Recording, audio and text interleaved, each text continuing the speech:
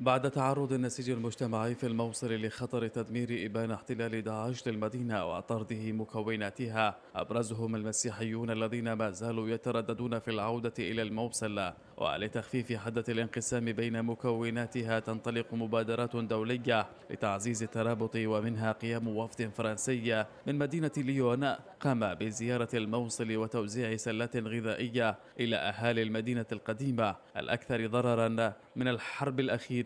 كجزء من الصداقة والأخوة المجتمعية.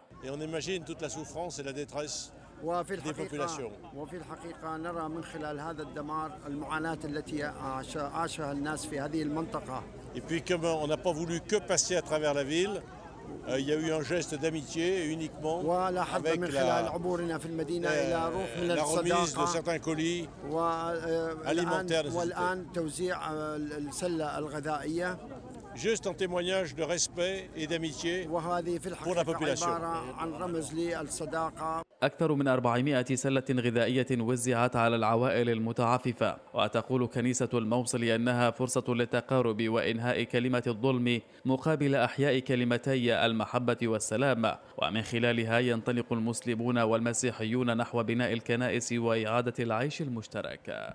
نريد آه، نقوم بعملية أخوية وأيضا يد مد يد المساعدة بأن اليوم الظلم ليس له الكلمة الأخيرة.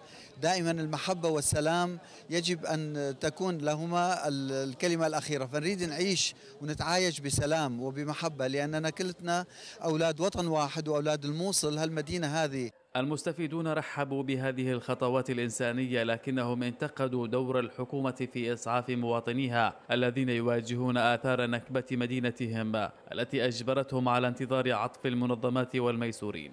وقفتنا على المساعدات. على العالم اللي يجون يرحمونا على أهل المنظمات. على مود تساعدنا شوية بحياتنا لأن الحكومة ما تسأل علينا. نحن تضررنا أكثر ناس إحنا الأيمن والقديمة. الكثير من أهالي المدينة القديمة استقبلوا رمضان بمفارقات عدة. منهم هذه المرأة التي تستذكر رمضان قبل احتلال داعش وما أحدثه بالمدينة. ليجعلها تستقبله هذا العام ودارها ينتظر من يعيد أعماره. وهي تعتمد على المساعدات في ظروف حرجة تمر بها.